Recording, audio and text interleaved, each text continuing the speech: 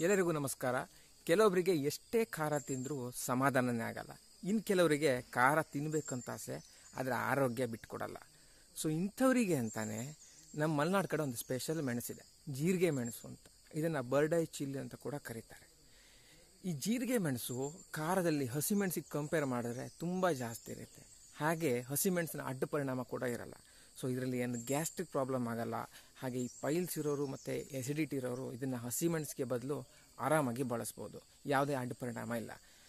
So ಒಟ್ಟಿನಲ್ಲಿ ಇದು ಹಸಿಮೆಣಸಿಗೆ compare ಮಾಡಿದ್ರೆ ಈ ಜೀರಿಗೆ ಮೆಣಸು ಅನ್ನೋದು ಒಂದು ಬೆನಿಫಿಟ್ಸಲ್ಲಿ ಕೂಡ ಒಳ್ಳೆಯದು ಖಾರದಲ್ಲಿ ಕೂಡ ಒಳ್ಳೆಯದು ಸೊ ಈ ಜೀರಿಗೆ ಮೆಣಸು ಹೇಗಿರುತ್ತೆ, ಇದನ್ನು ಹೇಗೆ ನಾವು ದಿನನಿತ್ಯದಲ್ಲಿ ಬಳಸ್ಬೋದು ಅನ್ನೋದನ್ನು ಈ ವಿಡಿಯೋದಲ್ಲಿ ತಿಳ್ಕೊಳ್ಳೋಣ. ನೋಡಿ, ಇದು ಈ ಜೀರಿಗೆ ಮೆಣಸಿನ ಒಂದು ಗಿಡ.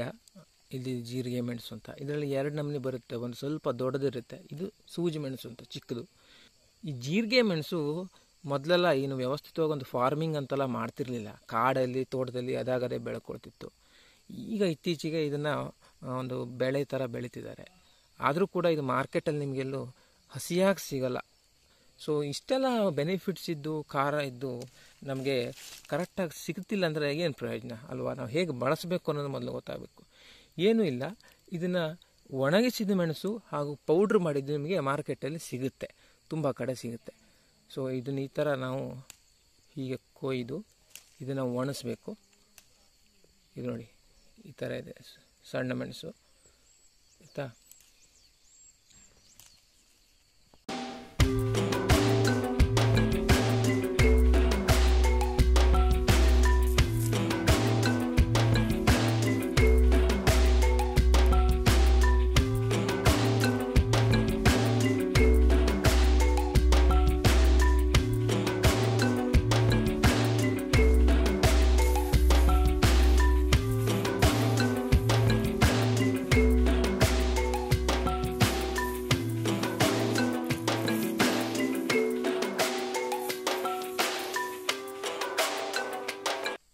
ಇದಿಷ್ಟು ಈ ಬರ್ಡೈ ಚಿಲ್ಲಿ ಅಥವಾ ಒಂದು ಸೂಜಿ ಮೆಣಸು ಇಲ್ಲ, ಏನು ಜೀರಿಗೆ ಮೆಣಸು ಅಂತ ಹೇಳ್ತೀವಿ, ಈ ಗಿಡ ಹೇಗಿರುತ್ತೆ, ಇದನ್ನು ನಾವು ಮಾರ್ಕೆಟಲ್ಲಿ ಹೇಗೆ ತೊಗೋಬೋದು, ದಿನನಿತ್ಯದಲ್ಲಿ ನಾವು ಯಾವ ಥರ ಬಳಸ್ಬೋದು ಅನ್ನೋ ಬಗ್ಗೆ ಒಂದು ಮಾಹಿತಿ.